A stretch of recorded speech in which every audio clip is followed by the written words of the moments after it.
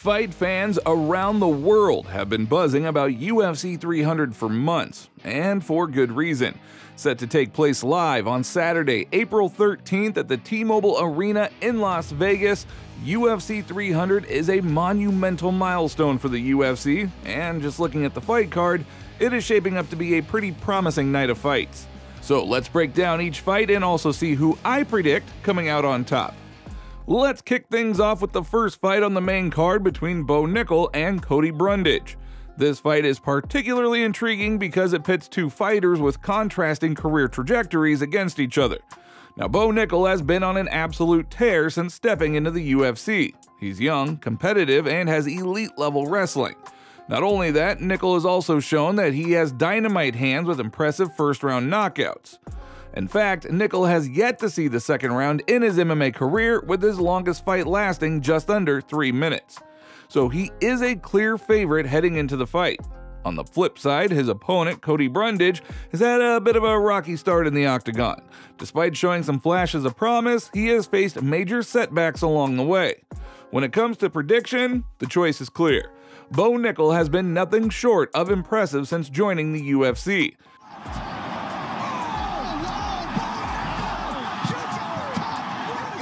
His grappling skills are top notch, his striking is on point, and he has shown a killer instinct inside the octagon. On the other hand, Cody Brundage has struggled to find his footing in recent fights, and his overall performance has been underwhelming.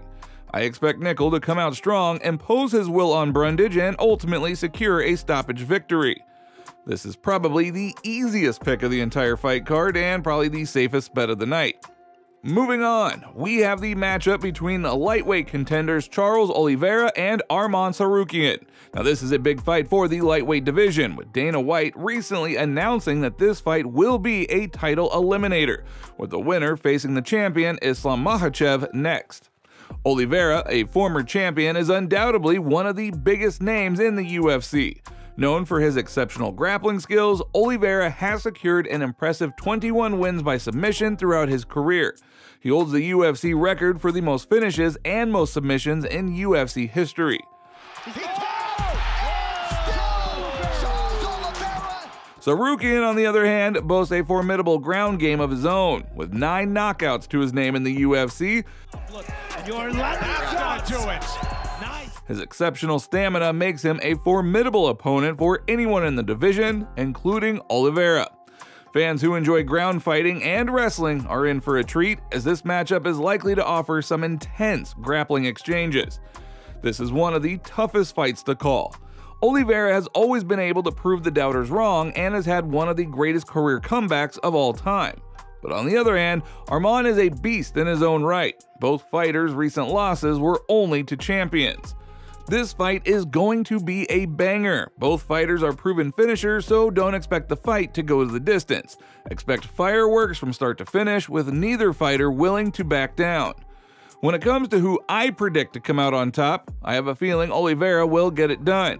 If there's anything that we can learn from Poirier's victory over Benoit Saint Denis, it's that you can never count these old guards out. Moving on, let's discuss the highly anticipated showdown between Justin Gaethje and Max Holloway.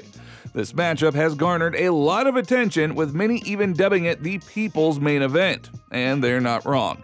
This fight has all of the makings of an absolute barn burner that fans won't want to miss. Gaethje, known for his explosive fighting style, has earned a reputation as one of the most entertaining fighters in the UFC. They're going to stop the fight. That's it! Justin Gaethje! Coming off of a head kick knockout of Dustin Poirier, Gaethje brings an unpredictable and aggressive approach to every fight. Holloway, on the other hand, is no stranger to the spotlight with an impressive record in the UFC, including a successful reign as the featherweight champion. He is known for his ability to go the distance and his slick boxing skills. His endurance and technical prowess pose a significant threat to Gaethje, especially considering Gaethje's tendency to finish fights early. So again, it's another tough fight to call. Now while the odds makers seem to favor Gaethje, Holloway presents a unique challenge with his unmatched stamina and durability. Holloway's ability to weather Gaethje's storm and take the fight into the later rounds could very well prove to be a game changer. Considering Holloway's recent performances, including victories over Arnold Allen and the Korean Zombie,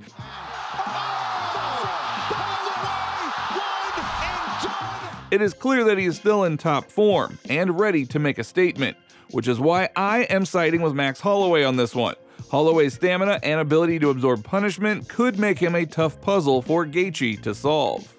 Moving on to the co-main event of the night, we have the highly anticipated strawweight title bout between the champion Zhang Weili and the challenger Yan Xiaonan.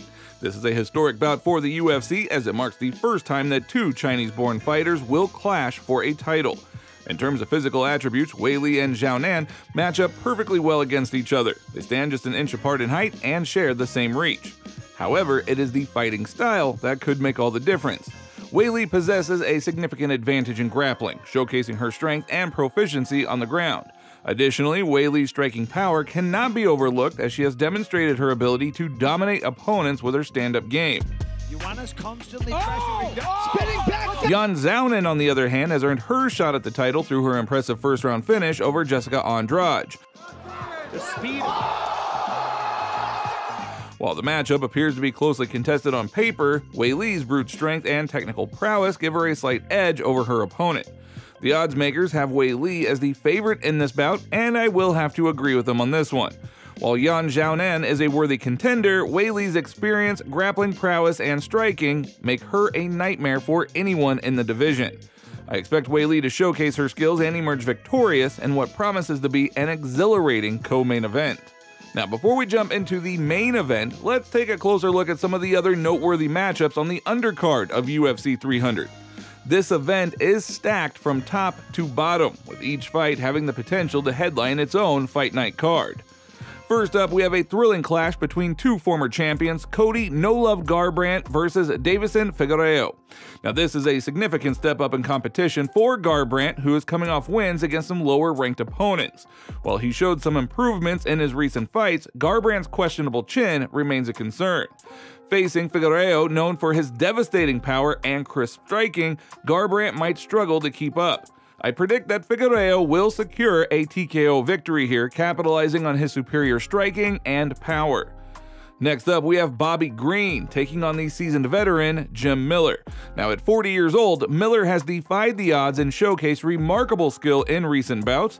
However, facing Green, known for his defensive prowess and speed, Miller might find himself outmatched. While I would love to see Miller pull off an upset, I do believe that Green's slick movement and defensive skills will lead him to a unanimous decision victory. Moving on to Jessica Andrade versus Mariana Rodriguez, this promises to be a thrilling matchup between two skilled strikers. Both fighters possess knockout power and technical skill, making this a potential fight of the night candidate. While it is too close of a fight to call, I believe Andrade's experience and aggression will give her the edge, leading to a hard fought decision victory. In another highly anticipated bout, we have Holly Holm facing off against the debuting Kayla Harrison. Despite Holm's experience, Harrison's combination of power and grappling prowess make her a dangerous opponent. Holm's predictable fighting style might play into Harrison's hands, leading to a submission victory for the newcomer. The X factor here is the weight cut. Harrison is massive for the 135 division, and we have yet to see how such a massive weight cut would affect her performance on fight night. Then we have Calvin Kattar taking on Aljamain Sterling in a clash of styles. Kattar's crisp boxing meets Sterling's grappling and wrestling expertise. While Kattar's striking is impressive, Sterling's ground game could prove to be the difference maker. I predict that Sterling will secure a clean unanimous decision victory, utilizing his grappling to control the fight. And then we have Jiri Prochazka facing Alexander Rakic in a matchup of light heavyweight contenders. Prochazka's unorthodox style and movement pose a challenge for Rakic, who is returning from a lengthy layoff. While Rakic may come out strong, I predict that Prochazka's striking and movement to eventually overwhelm him, leading to an early TKO victory for Prochazka. And finally, we have the main event of UFC 300, the light heavyweight title fight between Alex Pereira and Jamal Hill. This matchup promises to be an explosive showdown between two lethal knockout artists. On one hand, we have the champion Pereira, a powerhouse known for his devastating leg kicks and powerful punches. Pereira's striking ability is second to none, and he poses a significant threat to any opponent in the octagon.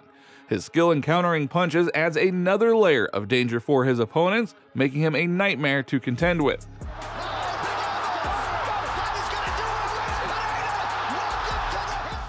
But on the other hand, we have Jamal Hill, a dynamic fighter with exceptional punching ability and lightning fast speed.